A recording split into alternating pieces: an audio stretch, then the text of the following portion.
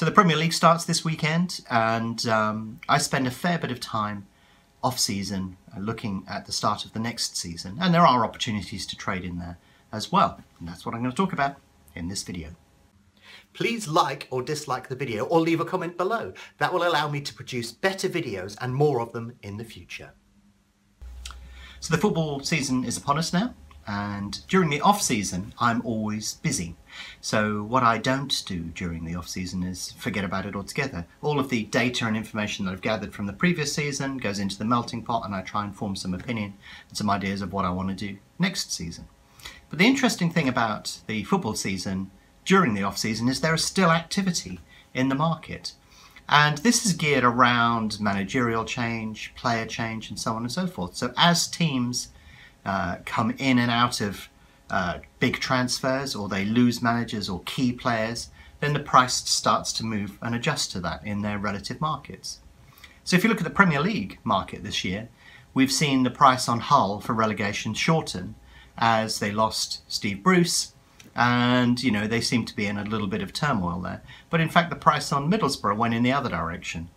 Now as a Southampton fan I'm used to this because we sell all of our players every year and get rid of our manager. So I've made um, good sums of money by backing Southampton for the relegation market and uh, and participating in those sort of things during the off season. Although I have to admit, this year uh, the market's been very quiet, and in fact, you know, we sold a couple of uh, strikers, and that looked like that could impact things. But the rest of the team is still pretty strong. I have no idea how the new manager is going to play out. Um, but having watched them in the preseason friendlies, they seem pretty well settled as a side. So there's been less impact on that market um, this particular year. Now, what I also do at this time of year is um, I have a good look at all of the stats from prior years and start to plot out paths in terms of how I think things are going to go. But I regularly, if you, if you haven't seen it before, I will move over here and the video will appear in this corner. I have a good video on how wage bill affects where your team's likely to finish in the league. Uh, you should check it out because it's quite interesting. Well, bound to say that. Um, I had thought about redoing it and I thought, well, actually, that video's got most information contained within it, so it's not a major thing to go from there. But I update the wage bill and all of this uh, financials for the clubs during the off season to see what's going on. And the interesting thing is that the spend at Man City has tailed off a little bit. Um, so you look at the top three uh, in terms of how much money is being spent on wages, and you end up with the same sort of Chelsea, Man United, Arsenal, Man City um, teams at the top of the league. But the interesting thing, and this should bring comfort and hope to Arsenal fans, is if you look at Arsenal's spend, because their financial model is better than everybody else's at the top of the league, as a proportion of that top four, their proportion um, of the wage bill is rising and rising and rising and gradually catching uh, the rest. If it continues like that within the next three years, they will probably have one of the highest wage bills in the Premier League. But the interesting thing is, it will be uh, financially viable. So actually, while Arsenal and Wenger come in for a lot of criticism, if you look at the line on the graph, it's actually looking really positive and it's growing in a nice steady fashion. If you look at Chelsea, Man City, Man United, the chart's going like that um, as they panic and, and buy in big players. So that was, that was interesting to see. Um, Liverpool are on a bit of an upward curve as well, and interestingly, Spurs were relatively flat. But the interesting thing is, uh, you can look at the absolute numbers, but what I tend to look at is the relative wage bills by club. And um, when you look at that, it basically gives you a much better measure of how clubs are competing with each other in terms of their wage bill. And it's getting pretty tight at the top. Um, if you look at those top four, being Chelsea, Man United, um, Arsenal and Man City, um, you know, the proportions are fairly similar. And, um, you know, that that's quite interesting in itself.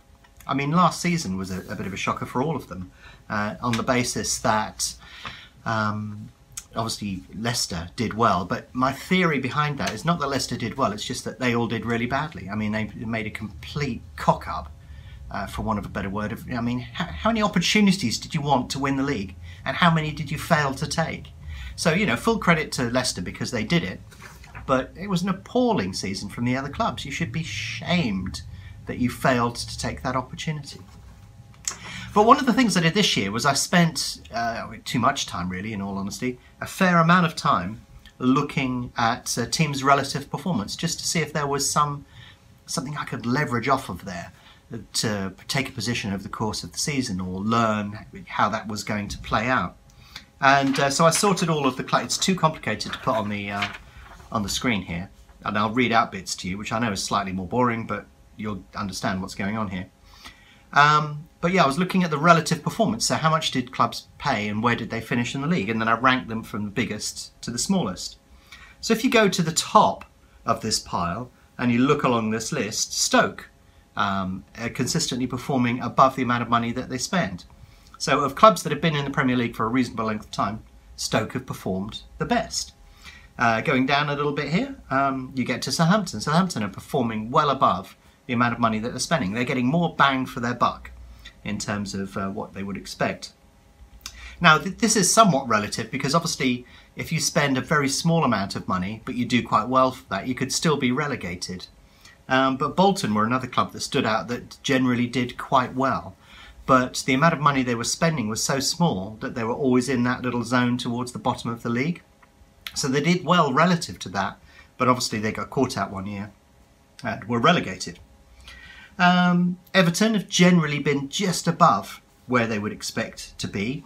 So that's going to be fascinating this year to see if they throw around enormous amounts of money if they get a result. My instinct is that then it's not going to happen.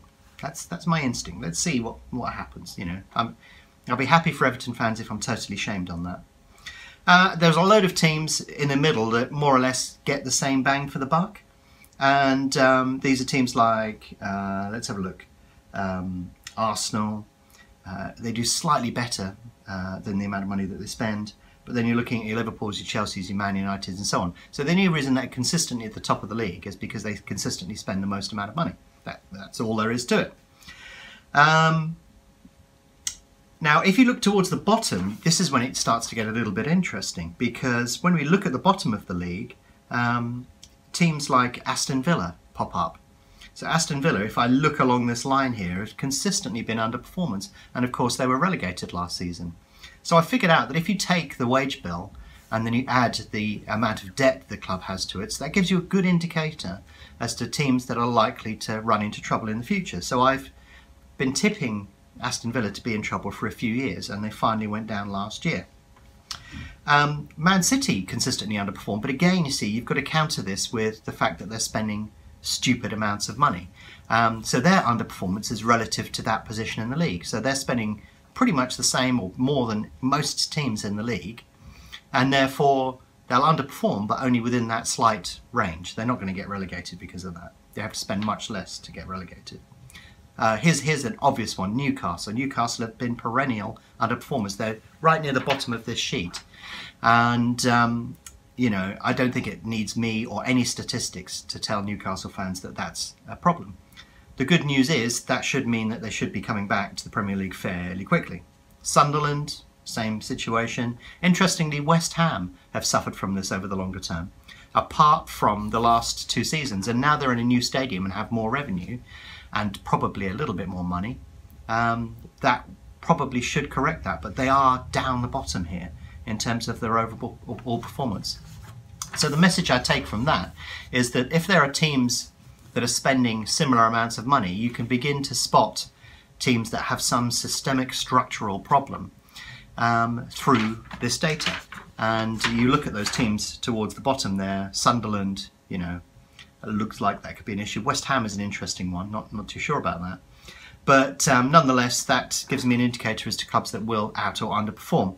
But like I said, it's relative. Uh, if you look at Manchester, uh, Man United rather, last year, I, I, don't have this year's accounts, but last year's accounts indicate that they spent 210 million on player wages, which is right at the top of the league. So even if they underperform, it will be relative to that, which means that they may finish fourth or fifth or something. Now this season, obviously, they're probably spending much more than that. So um, as a consequence, that should elevate them even much higher. So if they don't win it this year, that would be an underperformance. Uh, if, it's interesting actually, if you go back 30 years ago, um, as you do, Um, I've got detailed records from clubs over a large number of years and carefully researched it. But in 1985, I saw in an article the other day, Manchester United, 1985-86, Manchester United spent 2.6 million um, on player wages, and last year they spent 210 million. That's incredible, hundredfold increase in 30 years. Um, but if you look at the amount of money that's being spent, 10 years ago, Premier League clubs uh, spent half a billion on player wages, and last year they spent 2 billion. Um, and there's no sign of that stopping at the moment. So, anyway, start of the new season. Hope you've got realistic expectations for your team. Um, I'm looking forward to the season. It should be interesting. I would be surprised if Leicester uh, feature in the uh, race towards the end of the season. But then I said that at halfway point last season, and everybody got that wrong. It's incredibly rare and unusual.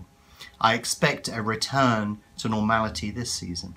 So anyway, best of luck with what's going on with your team, and hope you have a good one. If you're interested in learning more about BetAngel, its tools and the opportunities they present, then why not visit betangel.com today and download a free trial.